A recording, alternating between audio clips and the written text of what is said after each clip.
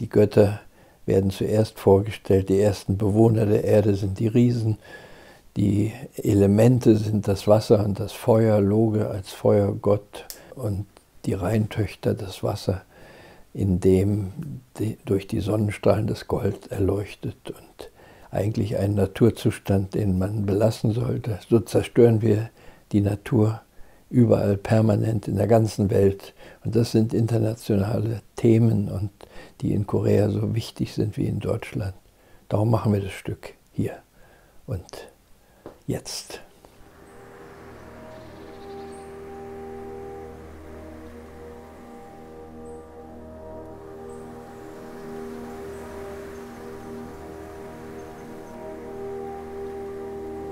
Hier gehen wir in die Sammlung. Das sind Bilder aus anderthalb Jahrhunderten, die ich mhm. äh, schätze und sammle und kaufe, ersteigere und so weiter. Die Leute sind leicht überfordert, aber das haben sie gerne. Sie haben Tränen in den Augen mitunter vor Wiedererkennen, sich selbst finden. In den, ich, ich habe ja keine Namen dran. Niemand weiß, was wertvoll ist im Kunstmarkt und was nicht. Wobei ich ja Wert immer nur ideell finde. Hier geht es weiter.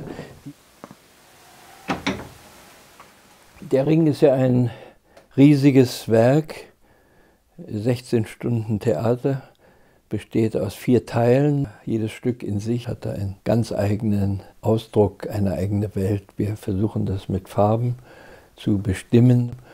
Ich kann mir vorstellen, dass der Raum ganz schwarz ist im Vorspiel. Dann sieht man diese Ellipse.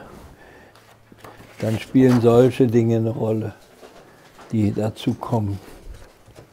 Perspektivische Linien, dass plötzlich alles nach vorne klappt. Dann haben wir dahinter noch ein Netz mit lauter Beleuchtungskörpern verschiedenster Art, die aufglühen und Höfe bilden und wieder verglühen, so äh, dass man den Kosmos auch wirklich ins Unendliche treibt. Der erste Brudermord findet statt, die Riesen schlagen sich um den Besitz des Ringes und dezimieren sich. Der eine stirbt, der andere wird zum Horter des Goldes als Drache. Ich sitze äh, und äh, besitze dieses gefällige alle verhungern, aber er besitzt. Das sind alles internationale große Themen, auch die Heimatlosigkeit. Ich bin sehr aufgeregt, das alles zu erzählen mit diesem Werk.